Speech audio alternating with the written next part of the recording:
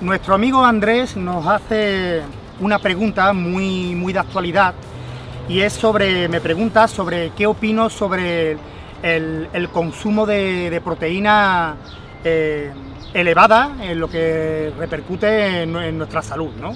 Y que me comenta que hay estudios médicos eh, de que comentan de que un exceso de proteína pues eh, no lleva ningún, a ningún problema de ningún tipo.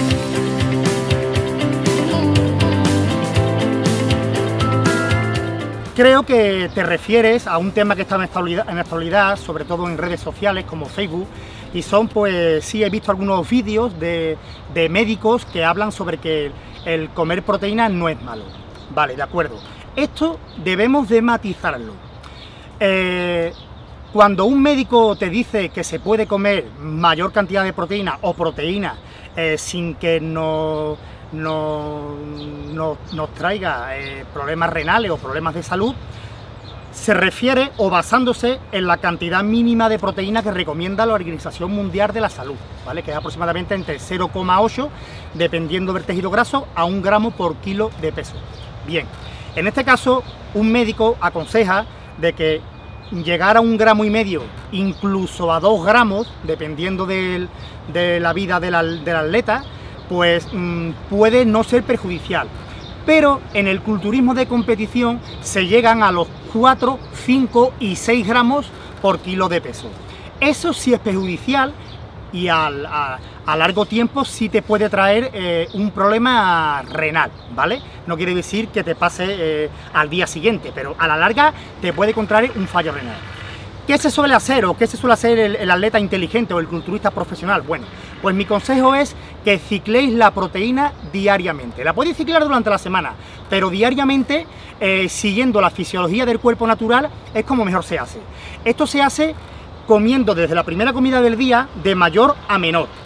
Dependiendo de la cantidad de proteínas totales, la podemos dividir entre dos y empezamos a comer de mayor a menor. Primera comida, por ejemplo, 50 gramos de proteínas totales, Siguiente comida 40 gramos, comida anterior al entreno 25-30 gramos, vamos bajando.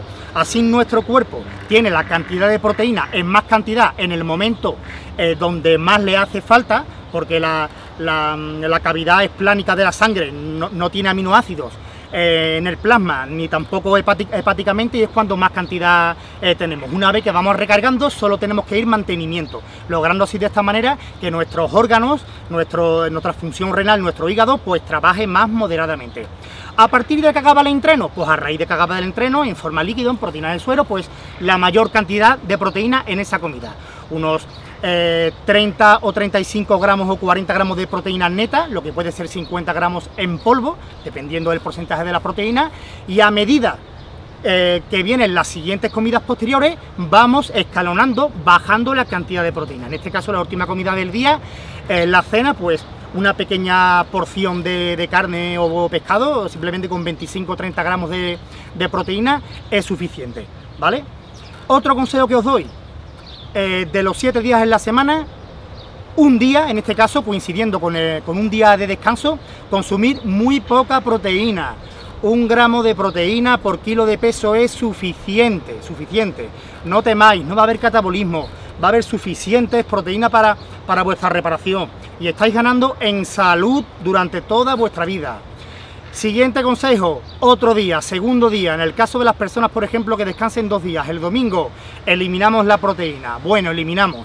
Eh, podéis añadir avena, quinoa, comer mayor cantidad de, eh, vegetales que tengan mayor cantidad de, proteína, pero poco, no más de 15 gramos por, 100 gramos. Este mismo día eh, podéis añadir aminoácidos en forma libre, en forma de suplemento. Así no vais a tener la carencia de aminoácidos, por una parte, eh, vais a, descargar y a limpiar los receptores encargados de captar la proteína y em, gracias a, los aminoácidos en forma libre que se encargan en este caso de formar parte de otros receptores, pues vamos a ir descansando un poco los, receptores del cuerpo para que después, cuando empecemos a añadir otra vez la proteína al día siguiente, pues eh, tengamos una mayor, mayor asimilación, ¿vale? pero no, no temáis, es importante ciclar la proteína e incluso ir bajando y casi eliminándola un día en semana. Solo así conseguiréis salud y no tener ningún problema renal eh, a largo plazo eh, o en un futuro. No olvidéis que podéis dejar vuestras dudas en los comentarios del vídeo.